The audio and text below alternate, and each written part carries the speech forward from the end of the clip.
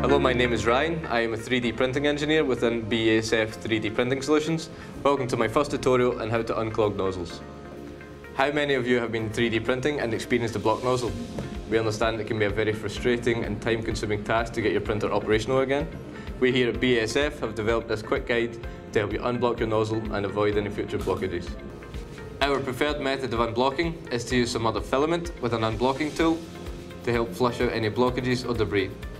What you will need is some other filament. I recommend using transparent PP or PET, a nozzle unblocking tool, and a wire brush. If your nozzle has already cooled down, the first step is to preheat the nozzle to the temperature of the material that was last extruded by the nozzle. When the nozzle has reached temperature, brush any excess material from the nozzle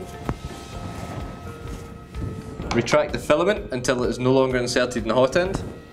Remove the Bowden clips and the Bowden tube. And then manually move the printhead to a corner where it's more support to avoid any excess strain.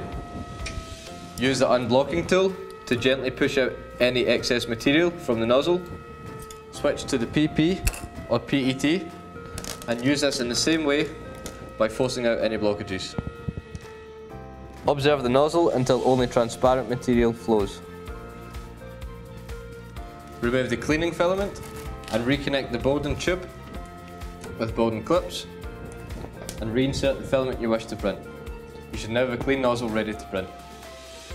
We recommend that you perform a nozzle clean after every print to prevent from future blockages. Now that you know how to unblock a nozzle, you can prevent this from happening in the future. One less frustration to worry about.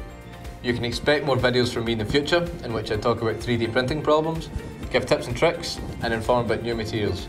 If you have any questions or topics you would like me to discuss, please leave a comment down below. Subscribe for more if you wish to see any more videos, and I'll see you in the next one. BASF. We create chemistry.